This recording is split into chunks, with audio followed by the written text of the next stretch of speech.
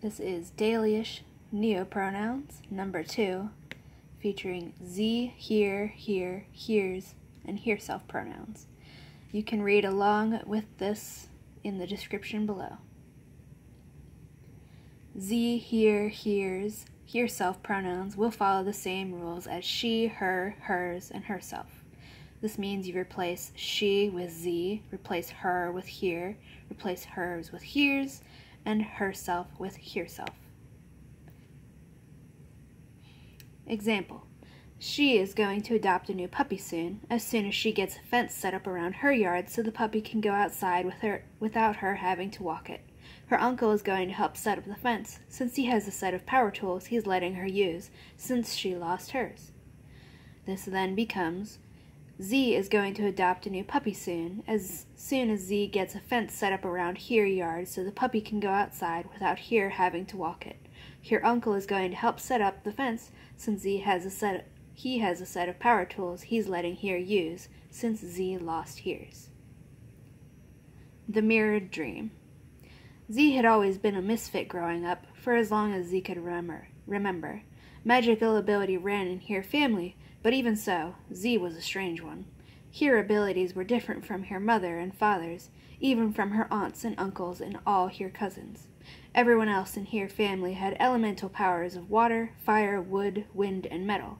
But her powers didn't manifest in the ability to control fire or move the air, or bend the water, or grow trees, or shape metal.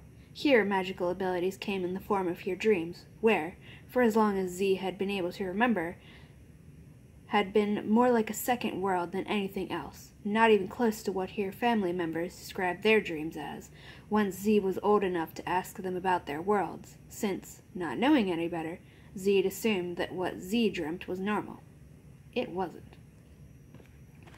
Other people didn't have entire worlds and landscapes inside their dreams that they came back to night after night without fail, and most people weren't even able to remember their dreams once they woke up while ze could remember any details as clearly as ze could remember the things that happened while ze was awake. It wasn't until ze was nine that ze began to really understand the scope of hir power, what ze could do with it. It wasn't just another world in hir dreams, it was a mirror world. The people ze spoke to there were reflections of the people in this world, reflections of hir family and friends and village.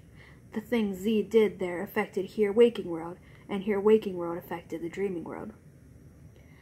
When ze was nine, ze stole a bracelet in her dreaming world, because even there, her family didn't have much money, and ze wanted it desperately. When ze woke up again, ze realized with shock that a bracelet was around her wrist, different to the one in her dream, but the same. A mirror image.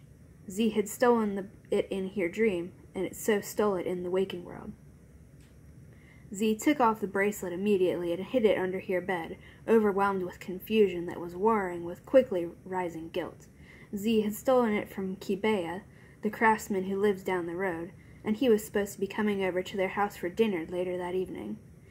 He didn't make any mention of the bracelet being stolen, but ze didn't ask either, too afraid to hear the answer.